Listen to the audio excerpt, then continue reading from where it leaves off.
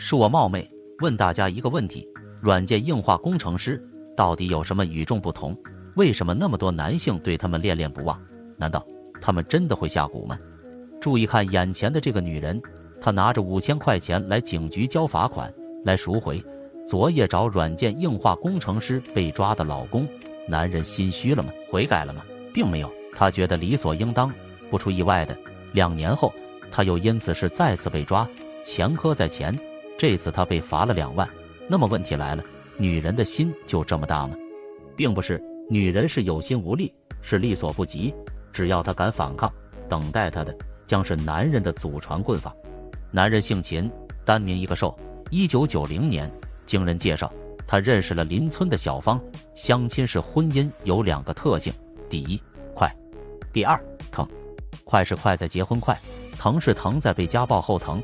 两人结婚第二天，小芳还如往常一样去镇上找胡德禄，弄了个时兴的发型。因为半路爆胎，等她回到家，时间已经来到了深夜。禽兽的脸黑得像个小猪蛋一样。什么？我说你有毛病啊你！花这么多钱整这么个烂头。禽兽是越说越带劲，小芳受不了了，她准备骑车回娘家。禽兽见状，一把将其拖回了屋内。祖传棍法第一式，劈头盖脸。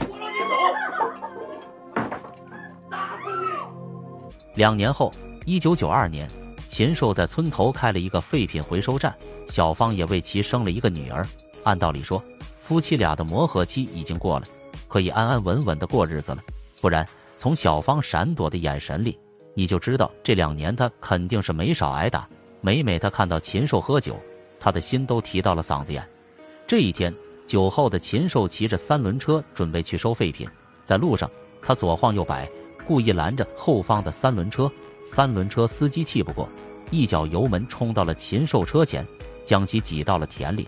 两人当即开始扭打，三轮车司机被打得够呛。次日，三轮车司机来了，带着三个手持棍棒的男人来了。禽兽被打得够呛，该说不说，禽兽是真的狠，被打得浑身是血。他非但不说一句讨饶的话，还让几个人打死他，不然他就要报复。半个月后，禽兽大病初愈，他迫不及待的。手持钢管，徘徊在和三轮车司机相遇的地方。他是有心和三轮车司机决一死战，但是无奈三轮车司机见他就跑，此事也就不了了之了。又是一个两年后，一九九四年这一天，小芳外甥女的孩子过十五，要办喜宴。小芳一大早便领着孩子去帮忙。等到了饭点，七大姑八大姨催促小芳喊禽兽过来吃饭。小芳本不愿，他太清楚禽兽的人品了。但七大姑八大姨执意，迫于无奈，小芳回了家。映入他眼帘的是地上已经被摔过不知道多少次的水壶。禽兽怒摔啤酒瓶，这是信号。按照惯例，这回小芳就要挨揍了。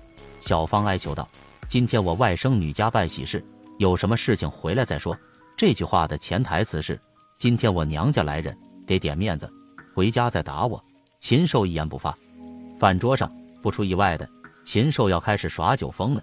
外甥知道禽兽的为人，他好言相劝，让禽兽少喝点。但你听听禽兽是咋说的：“你们家没酒是吧？上我那儿拿去。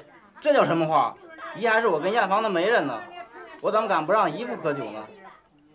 那不就结了？我想你也没那么小气。来，喝酒。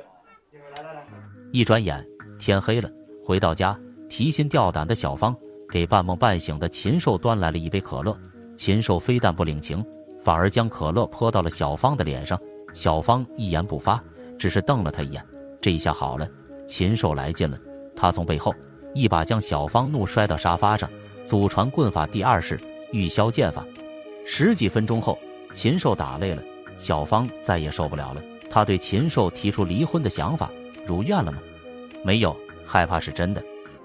一天打你三个来回，你信不信？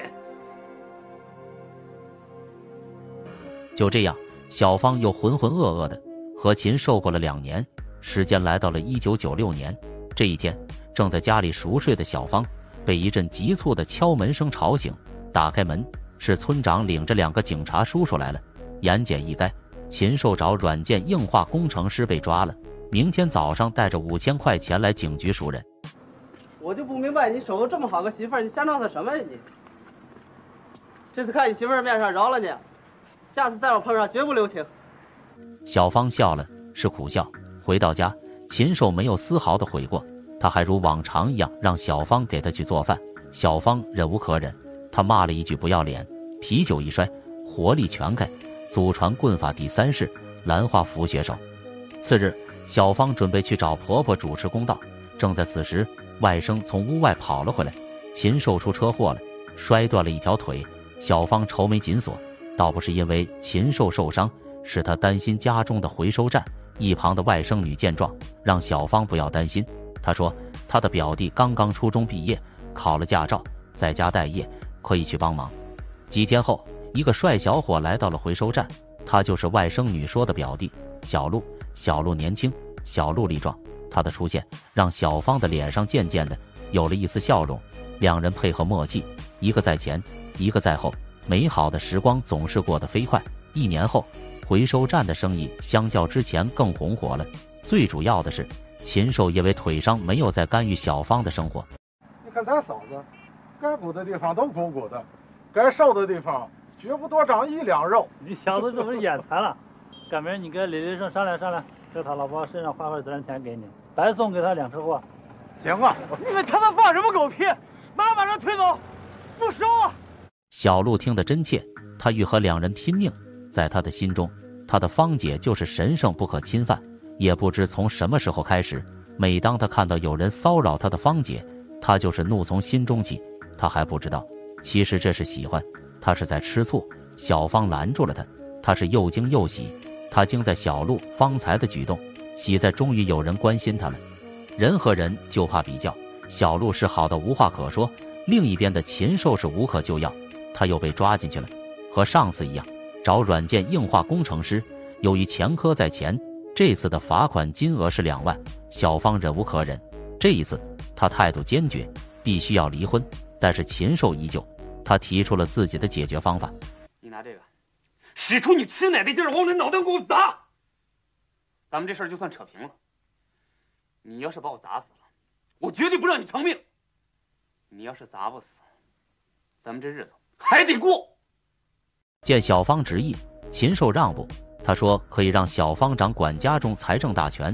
小芳没有说话，只是默默收拾被子。他要去旁屋睡。这一下好了，禽兽本就强压的怒火爆发了。第二天，小芳头裹纱布为小鹿准备了一桌饭菜。她要找人倾诉，小鹿一言不发，只是默默的听着。动情之处，小鹿一把抢过小芳手中的白酒。给自己猛灌了几口，小芳从下午一直说到了傍晚，她的泪是哭干了又流，流干了又哭。小鹿还是一言不发，只是默默地握紧了小芳的手。磨豆浆了估计。另一边，无所事事的禽兽这一天正在和几个狐朋狗友吃饭。酒过三巡，菜过五味，这几个狐朋狗友就打起了小芳的短。你可别只顾着整天冲锋陷阵，别把嫂子后边那块地给荒了。嗯，你小子可别瞎操心，咱哥那块地啊是块宝地，荒不了，有人给他暖着呢。你说什么？你再说一遍。禽兽憋着一肚子气，吃完饭，他径直来到了回收站。他将小芳拖进了房内，惨叫声传到了屋外，传到了小鹿的耳朵里。小鹿欲上前和禽兽拼命，但真当他见到禽兽的脸，他被吓得呆愣在原地，不知所措。几天后，禽兽对小芳下达了通牒：回收站关了，把小鹿辞退了，回家带娃。小芳没有拒绝，也没有反对。来到回收站，他将此事转达给了小鹿。小鹿是怒从心中起，恶向胆边生。爷，干掉他们！爷，你别害怕，我一个人干，我能干好。李医生得罪过的人那么多，仇家那么多，他不会怀疑我的。小芳默认了。隔天，他为禽兽准备了一大桌饭菜，像是送行饭。随后，他领着女儿前往了市里。小鹿手提装有哑铃的挎包，来到了禽兽家屋外。他刚准备敲门，就遇到了出门的禽兽。那怎么还没走？你没告诉你，老子让你滚蛋！真要杀人！小鹿害怕了。他再一次打了退堂鼓，回到回收站，他发了疯般的抽打沙包，宣泄心中的怒火。他恨自己的软弱，恨自己的无能。几个小时后，迟迟等不到消息的小芳给小鹿发来了传呼，内容：什么时候能回家？一瞬间，小鹿的眼神变得坚毅。他一路小跑，回到了回收站，恰逢酒后的禽兽正在朝屋外扔他的行李。